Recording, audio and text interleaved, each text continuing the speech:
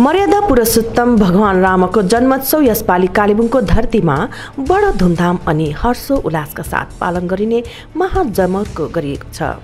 आगामी दस अप्रेल रामनवमीलाई लिएर गठित रामनवमी उत्सव समिति कालेबुङले यसबाजी सनातन धर्मको जगेरा जातीय एकीकरण सम्प्रदाय सद्भावनाका साथ सांस्कृतिक सम्वर्धनको रूपमा पालन गर्न गइरहेको छ।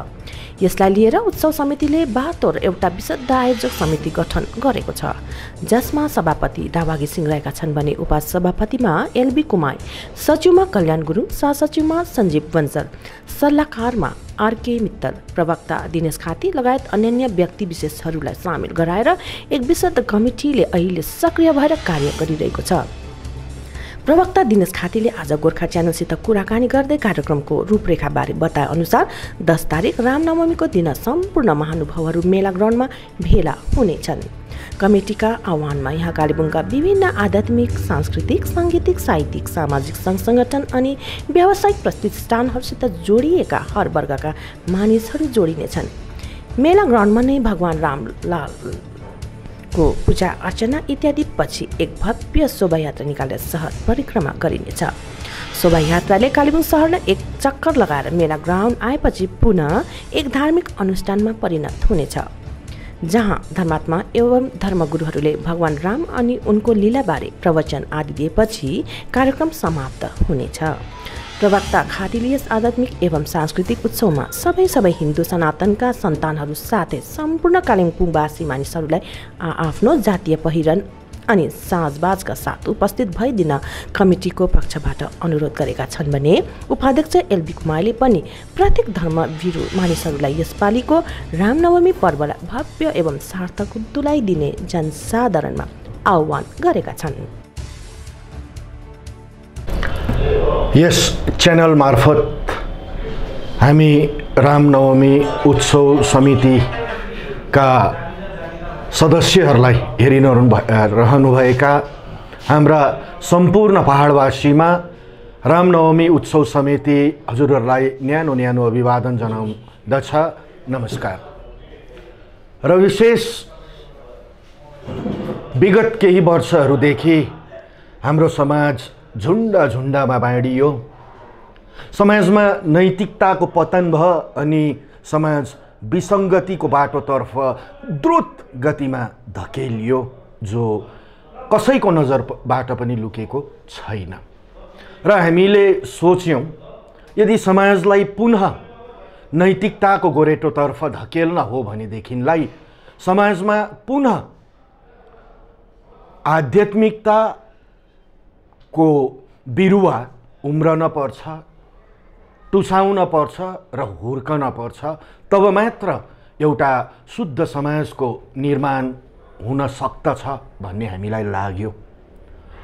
र आध्यात्मिकता भन्दाफेरिलाई विविध धर्म मार्फत हुन सक्छ।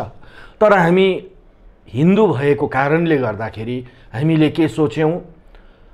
हाम्रो अघि आइरहेको रामनवमी पर्वलाई हिन्दूहरूको महान पर्व रामनवमीलाई एउटा उत्सवको रूप दिएर एउटा नयाँ सोच एउटा नयाँ विचार भनौँ या आध्यात्मिकतातर्फ लम्कने एउटा बाटोको आगाज गरौँ भनेर हामीले सोच्यौँ र आगामी बाइस दुई हजार बाइसको दस अप्रेल आइतबारको दिन हामी रामनवमी उत्सव मनाउन गइरहेका छौँ।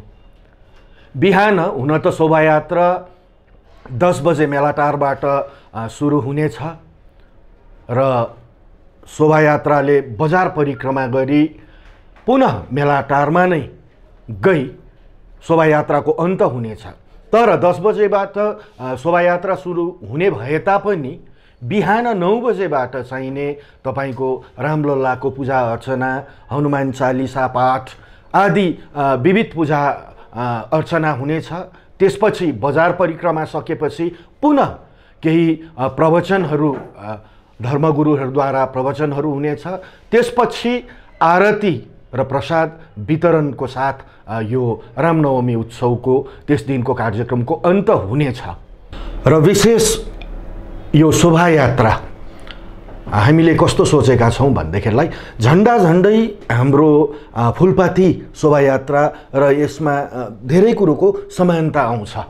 त्यसैले गर्दाफेरिलाई के भनेदेखिलाई जो जति आउनुहुन्छ तपाईँहरू आ आफ्नो जातीय वेशभूषामा आइदिने विशेष निवेदन हाम्रो है? जातीय वेशभूषामा आफ्नो जे छ कसैले दौरा सुरुवाल हामी नेपालीहरूले दौरा सुरुवाल लाउँछौँ भनेदेखिलाई दौरा सुरुवालमा है?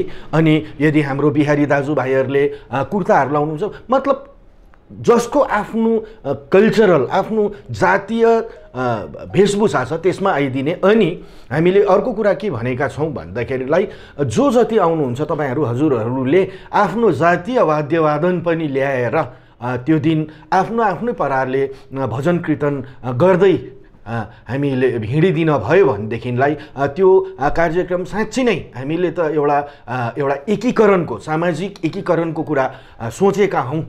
र शुद्धिकरण मात्र नभएर यो एकीकरण पनि। मैले अघि नै भनिहालेँ हामी झुन्ड झुन्डमा केही वर्षहरू बाँटियौँ। तर अब हामी एक हुन जरुरी छ र एकीकरणको निम्ति हामी के भनेदेखिलाई एउटै शोभायात्रामा विभिन्न जातीय वेशभूषा विभिन्न जातीय वाद्यवादनहरू गुन्जिएको होस् त्यो दिन र त्यसरी त्यो दिन तपाईँको एउटा पावन पुण्य अवसर बनिन सकेको होस्। यो एउटा रामनवमी उत्सव मात्र नभएर हामीले एउटा शुद्ध समाजको निर्माणको निम्ति एउटा कार्यको सुरुवात गरेका हौँ र यस कार्यलाई सफल तुन्याउनको निम्ति सम्पूर्ण सम्पूर्ण पहाडवासीलाई हामी हार्दिक निमन्त्रण गर्छौँ। दुई हात जोडेर हजुरहरूलाई नम्र निवेदन गर्छौँ के भनेदेखिलाई एउटा नयाँ युगको सुरुवाततर्फ हजुरहरूको उपस्थिति